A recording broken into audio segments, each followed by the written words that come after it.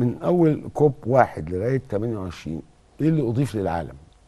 الحقيقة هو أضيف للعالم إن آه، ال- التغيرات المناخية آه، وتيرتها بقت أسرع آه، التلوث والانبعاثات الحرارية بقت أكتر أنا مش عايزة أقول نظرة سلبية لكن أنا بقول الواقع اللي. اللي موجود عندنا. يعني آه، بيتهيألي العالم كله والأف- والفرد العادي الطبيعي بقى حاسس أصلا بالتغير العادي صحيح. في الطقس. يعني فتخيل إن يعني إحنا من واحد ل 28 إيه الجديد أو إيه التطور اللي حصل؟ يعني أنا شايفة إن التطور اللي حصل إن زاد وعي الفرد العادي آه. بأهمية موضوع التغ- التغيرات المناخية. وإن أصبح الموضوع ده يعني بيحط العالم في وبيحط الدول المتقدمة يعني في موقف حرج أمام مسؤوليتها وإن أصبح هناك وعي إن الدول المتقدمة الخلافات وحسابات موازين القوى هي اللي معرقله إنها تاخد خطوات جدية في موضوع التغيرات المناخية. وإن إن في فجوة الفجوة دي ما بين الدول النامية والدول المتقدمة لازم نوصل بأي حل من الحلول إن إحنا نقلل الفجوة دي علشان يعني الجيل اللي جاي والجيل اللي بعده يقدر يلاقي مكان يعيش فيه يمكن في كلمة الملك تشارلز النهارده هو بيقول إن 2050 هم الأجيال مش هيسألونا إيه القرارات اللي أنتوا خدتوها هم هيسألونا إيه الخطوات اللي أنتوا خدتوها صحيح. علشان نقدر نعيش في بيئة نحتمل إن إحنا نكمل فيها يعني اللي أنا فهمته من حضرتك إنه المؤتمرات ال 28 خدوا إجراء قرارات آه، ما نفذتش في معظمها.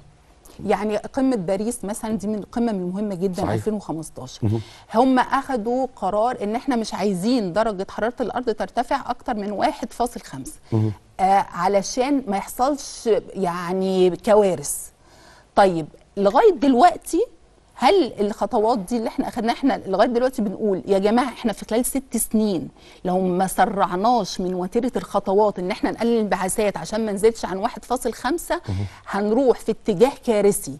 ولغاية دلوقتي في نفس النهارده كوب 28 إحنا بنكرر نفس الكلام وبنقول نفس اللي اتقال في بقى السلوك في القطبين 2015 وارتفاع المياه ب- والمحيطات كل حاجة بقى كل حاجة حضرتك. فاحنا بنقول نفس اللي إحنا اللي كان القرارات من 2000 بتاعه باريس 2015 لغاية دلوقتي إحنا قاعدين بنقول آه وتوصيات تنفيذ قرارات باريس 2015 يعني لغاية دلوقتي إحنا آه. لسه بننادي بتوصيات باريس 2015 وكل دولة هي بتقف تقول البيان بتاعها أنا عملت إيه قللت إيه استخدمت طاقة نظيفة إزاي حاولت أقلل من الانبعاثات إزاي إيه المشاريع اللي عملتها. ف لكن في النهاية هي بتقول إن لازم إن إحنا نسرع الخطوات. كل دولة بتعترف إن لازم يكون في خطوات أسرع من اللي هي موجودة دلوقتي على أرض الواقع. اذا خلاصة اللي تم من آه، 28 مؤتمر إنه الوعي العام زاد بالظبط فقط. بالظبط. وإنه الإحساس بالأزمة زاد. جدا. وزاد مش بس بحكم إن المؤتمر بيقول ده لكن لأنه الناس حرانة بالإحس... أو بردانة بإحساس, أو أو ال- الجو مغيم أو يعني تغيرات حصلت الناس لمستها. طيب سؤال. وموضوع يعني ال ال ال الأمن الغذائي والأمن المائي يعني مظبوط. الشح الغذائي والشح المائي ما ده كله بيأثر على البشرية. كلها. آه طبعا طبعا. السؤال الأخير لحضرتك هو سؤال يعني آه، أساسي حقيقي يعني فهمنا كل حاجة. في ظل الأزمة الضخمة جدا للانبعاثات الحرارية وتغير المناخ هل يمكن لدولة أن تنجو ب- وتعمل كل الهوم ورك تعمل كل اللي في الكتاب؟ تنجو منفردة؟ تقدر؟ لا طبعا لأن دي من القضايا العابرة للحدود. يعني إيه عابرة للحدود؟ هي مش بتقتصر على دولة واحدة. وهي يعني مش مش بتستأذن. هي بتدخل في كل الدول من بدون أي استئذان والدولة ما تقدرش إنها تقف قصادها لوحدها. يعني لو كانت الدول تقدر تقف قصادها لوحدها ما كانش هيكون في مؤتمرات سنوية بتناقش إحنا إزاي نتعاون علشان نقف في وجه أزمة زي دي. فدي أزمة عابرة للحدود.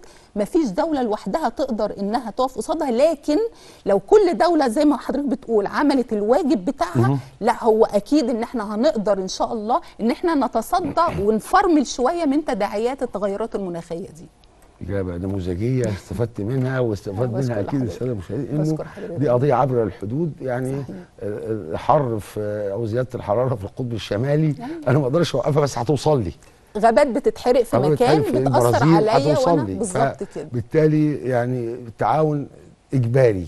صحيح؟